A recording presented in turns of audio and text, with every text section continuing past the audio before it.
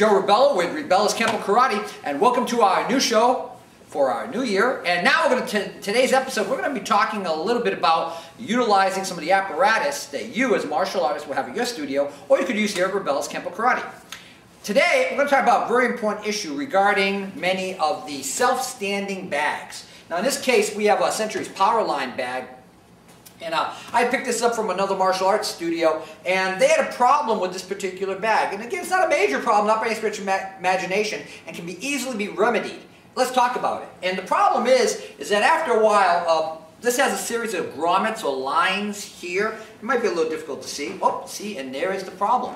The entire bag moves. What's supposed to happen is, I'm going to move this, this is going to help us out in a moment, is that traditionally, the bottom of the bag has a hole. And in this hole, there's a small plastic nub. So again, a little semicircular nub that is somewhat more pronounced than others on the side of the bag. And it's designed to hold that particular bag at the various heights placed on this zigzag lifting bar, or lifting groove, I should say. But what happens after a while, if you're a martial artist and you're punching and kicking and smacking this thing around, apparently what happens is after a while that groove starts to wear down more and more until it becomes nothing more than a nub and it doesn't hold the bag in place either at its given height or in place in regards to the bag assembly itself. So what happens is, you start to get a bag that simply stated starts moving back and forth and won't stay at this height. So obviously you've got to wonder yourself, well, Mr. Rebelo, how come you can have that bag stay at that height? Well, I found a simple alternative to it. Stuff it. Just kidding. What we're going to do is we're going to stuff it with mattress padding. And again, simple upholstery foam. And you can get this at any of your upholsteries or local craft stores. It's a soft, smooshy foam rubber. That simple. Now, you can see in this case, the height's still a little bit short for me. I'm six feet tall. If I want this to be at my height at six feet, well, all I have to do, literally, is pull the bag off the assembly, turn it over, take my foam, it doesn't have to be perfectly round either, simply fold it, stuff it into the bag opening, take it, pick it back up, and and sometimes the nubs will be there, so you have to line up with the nubs and slide down accordingly.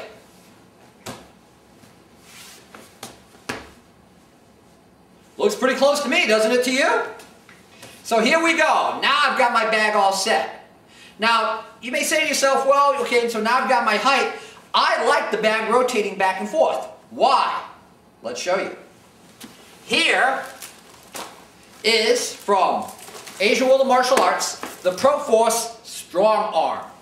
Now, I really love this device because, especially as a Kenpo practitioner, and of course, here at Rebel's Kenpo Karate, we teach several different martial arts, but the key ingredient is, is that I can do many of the drills that I have to use with an arm, obviously, because my opponent's going to punch me with an arm or a leg or what have you. So I want to make sure that I have an armature where I can practice my techniques on said arm and said body. So now, I move around here, and I take the straps of the strong arm, wrap them around accordingly, and say he disappeared for a moment. Okay, I'll bring it this way. Does that make it better for you? Sure, makes it better for me. I'm going to pull it tight, strap it across the bag, take the bottom strap, Strap it in the grommet accordingly.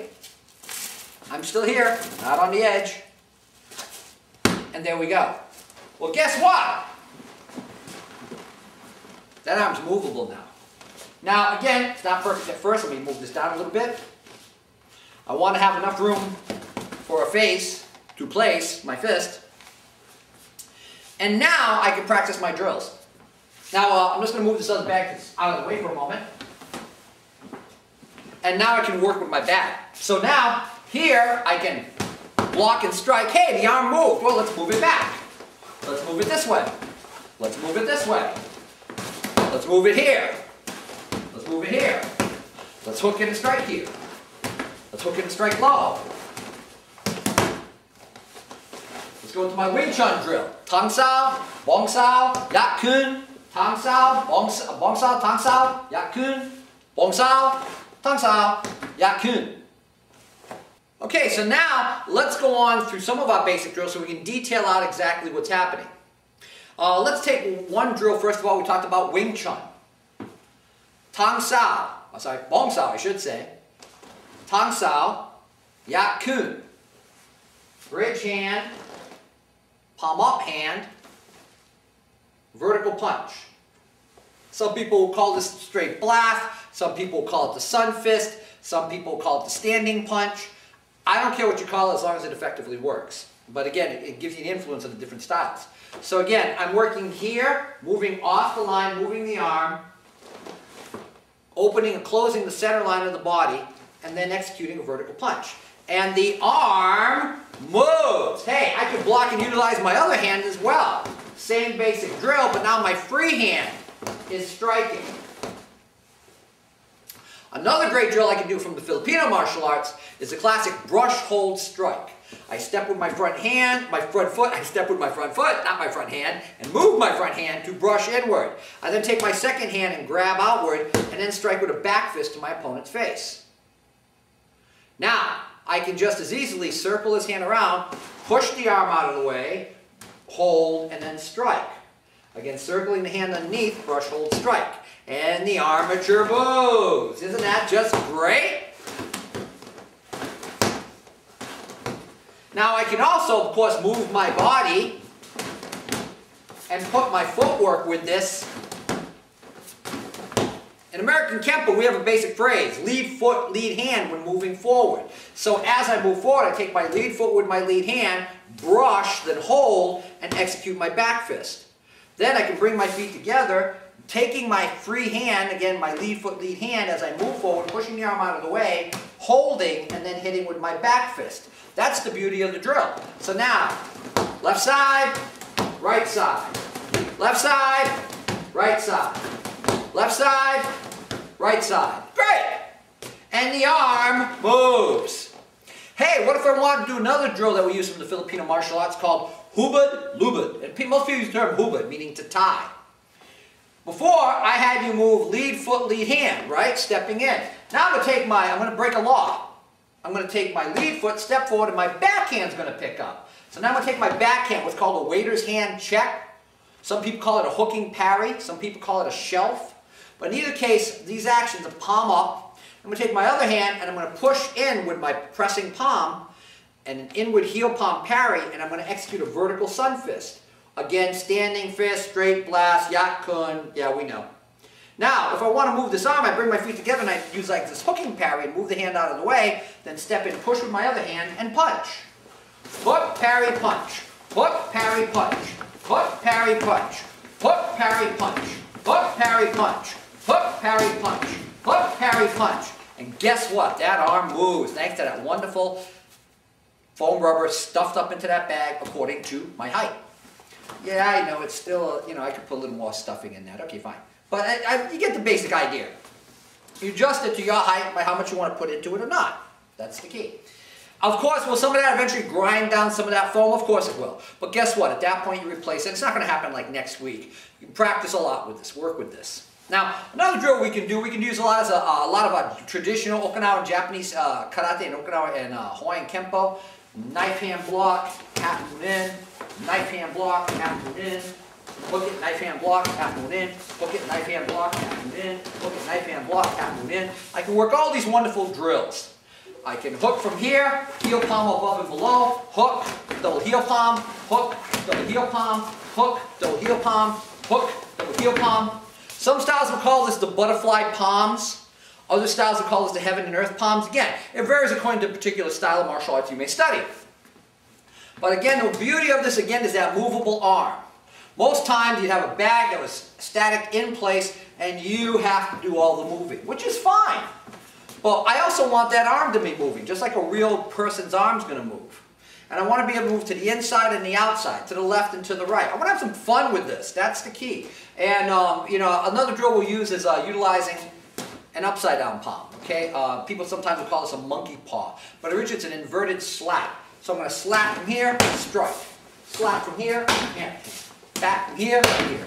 Slap the arm, slap the head. Slap the hand, slap the head. Slap the hand, slap the head. Slap the hand, slap the head.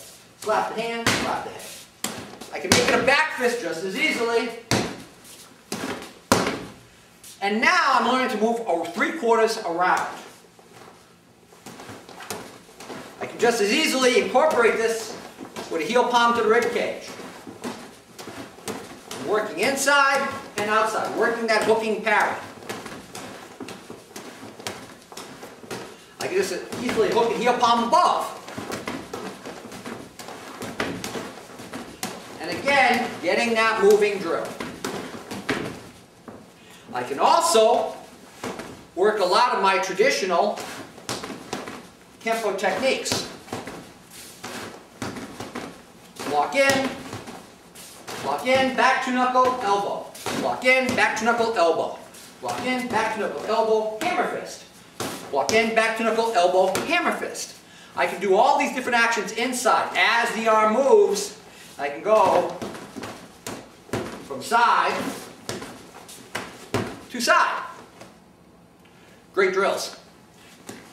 Great device, great apparatus. So again, utilizing that armature.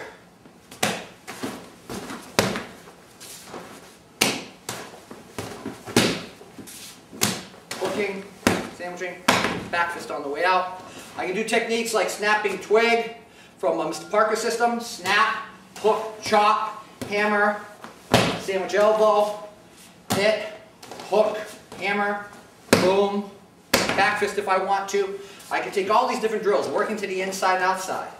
I can incorporate this with kicks, hit, check punch, all these different drills as I move this armature out of harm's way.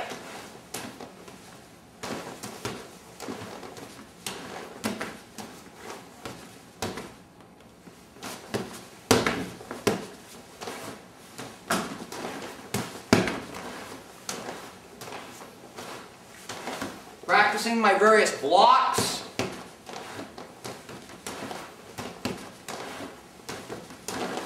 And incorporating these various drills. So there's a good way that you can take a bag that might not be as stable as you wanted it to be and make it far more mobile. Take one of these basic apparatuses like the strong arm to give you that armature to move that arm around. And the beauty of it, you can set up for different heights. You can set up for a lower line body punch down here. You can bring it up for a, a, face punch up here and still be able to work your drills. That's the beauty of it. It is the joy of the mobility from the stability that enables us to increase our ability.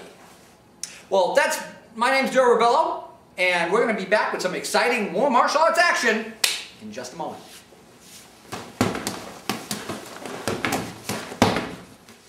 Okay, we've been doing some great drills with our single arm. Hey, you know what's better than one arm? Two. You know what's better than one armature? Two. And this is the uh, Strong Arm 2 from uh, Asian World. And now we have two arms that we deal with. And again, we're going to go through the same procedure we did before. Tie. Take that strap, wrap it across the back of the apparatus, slide it on, attach the Velcro in the back, Take the lower arm, take the lower strap, strap that on. Very nice. Now, hey, again, it circles, it turns, it moves. Uh, I really want to give some credit right now to Mr. Frank Trejo from the American Kenpo System. He's one of, one of my instructors. And uh, again, he was the person who enlightened me to this regarding Kenpo sticky hands. And having also worked with the Wing Chun system, I can appreciate the terminology he's referring to. In Wing Chun, we have sticky hands, where we have an adhering energy, where our hands keep in touch with our opponent's hands, moving, flowing, striking.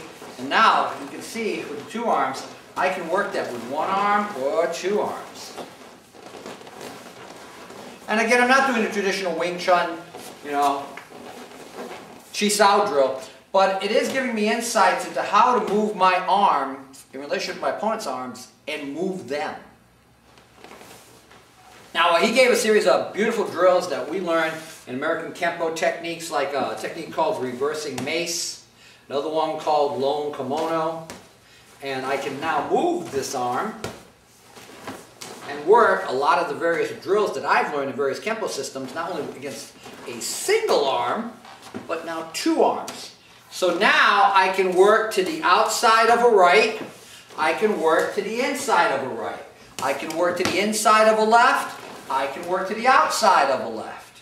I can work on top of a left, I can hook it, I can work on top of a right.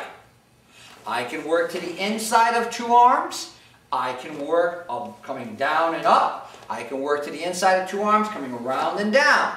I can work to the inside of both arms, working from the outside in or the inside out. I can come below to, below to above or above to below. That's what's great about it. So a lot of the drills from various martial arts, uh, specifically Kenpo systems, as well as many Kung Fu styles, can be easily applied to these actions. It's not, and again, it's not limiting it to those styles alone, but we're just giving and citing examples of which we can flow and grow. So now I want to do that drill I did earlier, brush hold strike from the Filipino martial arts. Brush hold strike, and go this arm immediately, brush hold strike, and go this arm immediately, brush hold strike. And I'm going to go back along here, and I'm going to go to this arm. And I'm going to work it to the outside of a right, to the inside of a right, to the inside of a left, to the outside of a left, to the inside of a left, to the inside of a right to the outside of a right. I could take that other drill I learned earlier, hubit lubit. Check, push, punch. Check, push, punch. Check, push, punch. Check, push, punch. And I can move these arms. I can move them around. That's the beauty of this. So again, I was dealing with a single arm, now I can deal with two. And I can adjust them to whatever according heights I want to do. Now I can utilize a bunch of the different drills I've learned from Wing Chun systems. I can do double strike down, heel palm. Double strike up, heel palm underneath. So striking up, heel palm underneath, right down, heel palm on, the, on top. I can also work various techniques that I've learned. Uh, again, immediately comes to mind with Kenpo, one technique is begging hands. Step back, kick, heel palm. I'm doing it above because I can because it's a bag. I can work it above the arm, below the arm. That's the beauty of it. I can adjust these two armatures higher or lower depending what given targets that I want to strike. That's the beauty of what we do. Again, I can also work with both hands. Again, we have a technique called parting wings. Stepping back block, chopping underneath, chop above, check the arm, punch. Wow, that works out great. And I can work against both arms. I have another technique called hooking wings. I can step back, I can hook, I can kick, hammer fist, back knuckle, upward elbow, claw, rip. And again, two arms. And again, mobility. I can move this all over the place. So maybe I'm working with a partner and I do the technique a couple times and I slide it over to him to work on it. And then he slides it back to me and I can do the technique. And I slide it back to him. And I can bring it over. I can have a third person over here and slide it over to them and they can slide it back to me. Wow, the possibilities are endless.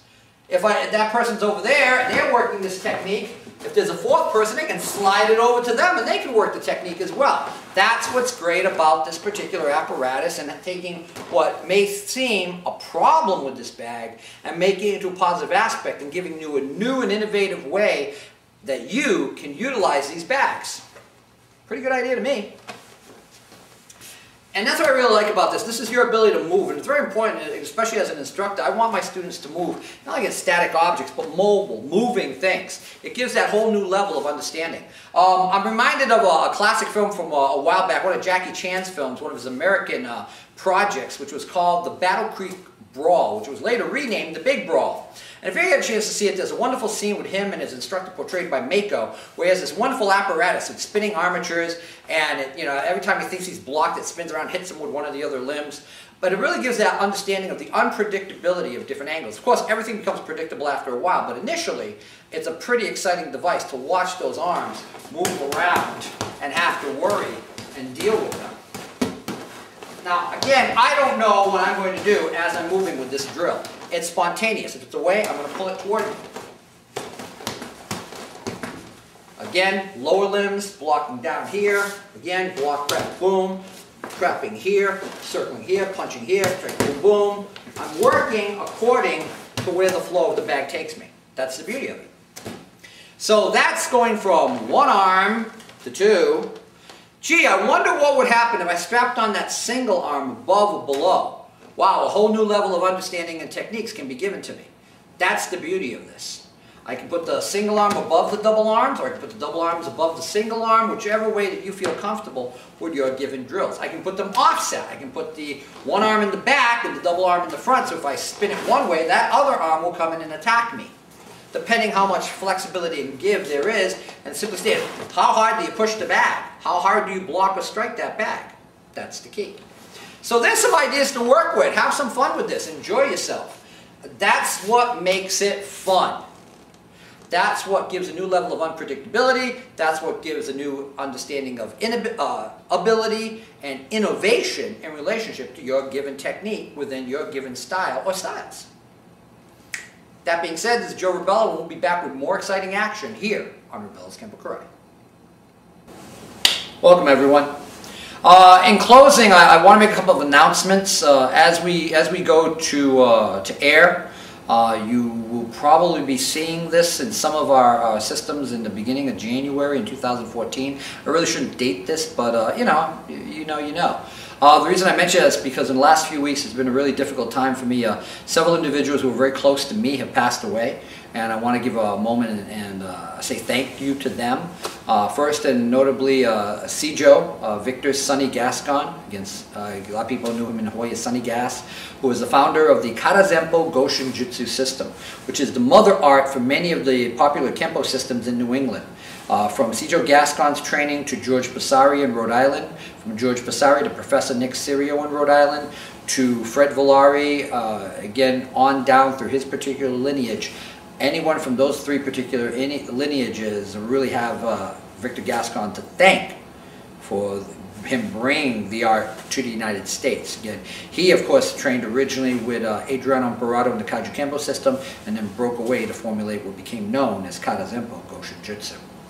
Uh, also, I would like to pass along my condolences, and uh, another good friend of mine that I've lost is uh, Richie Brandon. Richard Brandon, a lot of people knew through the New England martial arts scene. Uh, some of you who may have watched the old WMAC Masters TV series uh, may know him as Yin Yang Man. Uh, he was a very prolific Chinese martial artist in the arts of Kung Fu and Wushu. Uh, he was featured in everything from Mighty Morphin Power Rangers as one of the putties, to even doubling for many of the actual stars of the show, to working on everything from Mortal Kombat Conquest TV series, uh, even in the music video of The Blade featuring Jay Chou, which may, some of you may know from his role as Kato in the uh, remake of The Green Hornet with Seth Rogen. Uh, Richie was a good personal friend of mine. Uh, he lived in Lynn, Massachusetts, and as a fellow Massachusetts resident martial artist, I used to have to compete against him in the crane circuit uh, in the 1980s uh, and 90s, and uh, he would be sorely missed. And uh, last but not least, Tom Laughlin, the star of the classic Billy Jack films, passed away at the ripe young age of 82, led a full life, was a, a cancer survivor, and um, I was very fortunate that he was one of the people who influenced me in my martial arts training and uh, in his study of Hapkido and also including his instructor Bong Soo Han in the classic film The Trial of Billy Jack. And uh, I'm very fortunate to have seen these individuals and many times met individuals such as Sijo Gascon, Richard Brandon, and even Tom Laughlin. So uh, again, I just want to pass along my, my thanks to those individuals, and uh, I hope you're enjoying our show. Uh, it's been several years that we've been on, and um, I hope that you're getting more out of your martial arts training here at Rebelo's Kenpo Karate. Until next time, this is Joe Rebelo, and uh, keep training.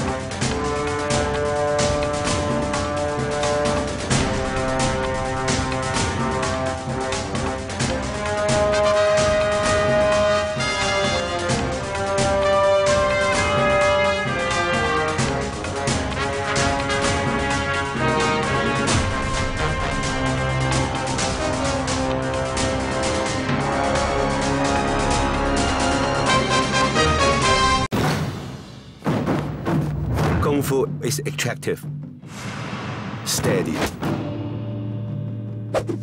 clever, elegant, powerful.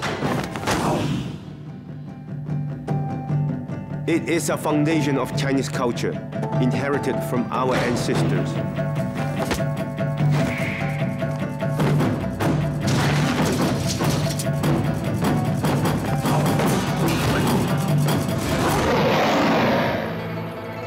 Tigers, they are a treasure of our world.